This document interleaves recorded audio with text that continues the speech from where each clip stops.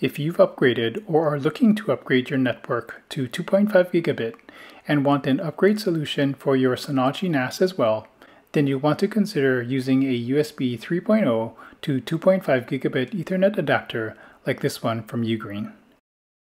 In this video, I'll go through the steps of setting up these Ugreen USB 2.5 gigabit Ethernet adapters on my DS224 Plus.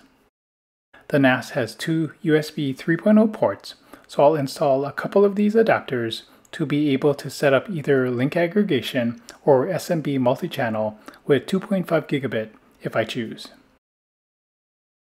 We'll also need to install drivers through DSM to be able to use these USB Ethernet adapters. We'll get them from this GitHub project, which I'll link to in the description below. The drivers are for the Realtek RTL 8150 chipset. So if you choose not to use the same Ugreen 2.5 gigabit Ethernet adapters that I'm using, just make sure the USB Ethernet adapter that you choose uses the Realtek chipset. Let's get started with a brief overview of my network setup. I have a TP-Link BE9300 router with 2.5 gigabit LAN ports.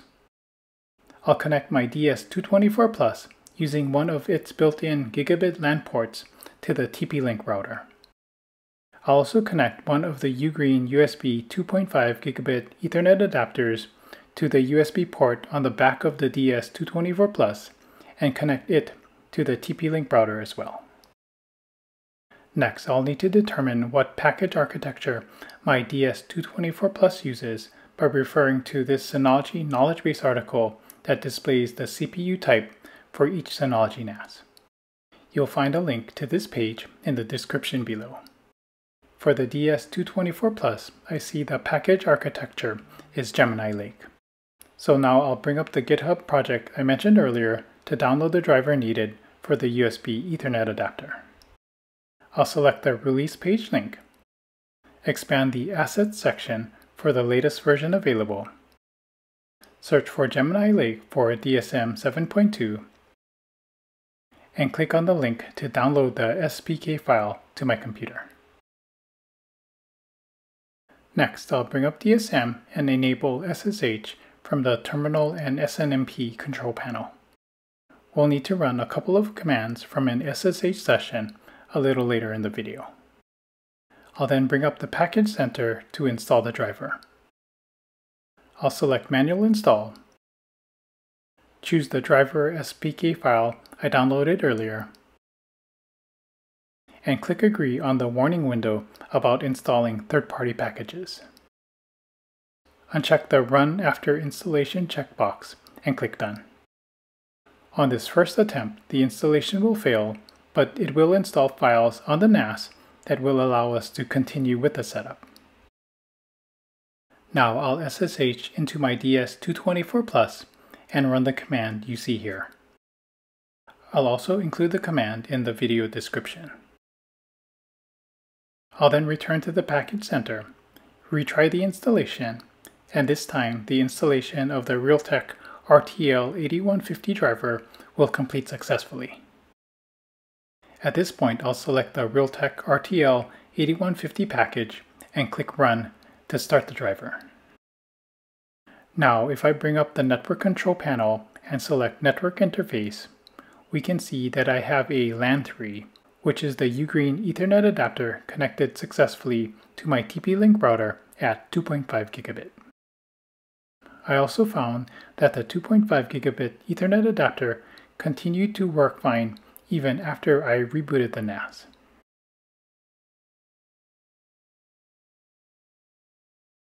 Next, if your NAS has a second USB 3.0 port and you'd like to install a second USB Ethernet adapter, you'll need to take one additional step. For my DS224 Plus, there is another USB 3.0 port on the front of the NAS. So I'll plug in a second Ugreen Ethernet adapter into that port and connect it to my TP-Link router. I'll SSH into my DS224 Plus once again and run this command, which I'll also include in the description below. Now I'll bring up the package center, stop, and then restart the Realtek RTL 8150 package. I'll then bring up the network control panel and now we see the second 2.5 gigabit Ethernet adapter. I found that the second adapter was set with a static IP address, so I changed it to DHCP. Once the change was made, it received an IP address from the TP-Link router's DHCP server.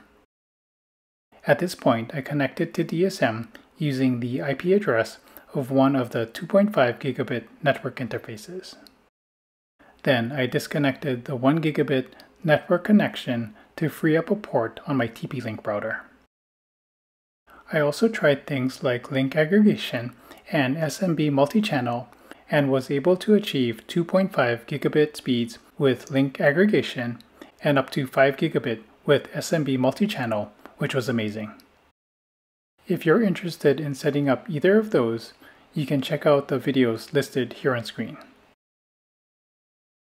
Lastly, if you'd like to support my work or hire me for a project, check out the links on screen or in the description below. Thanks so much for watching.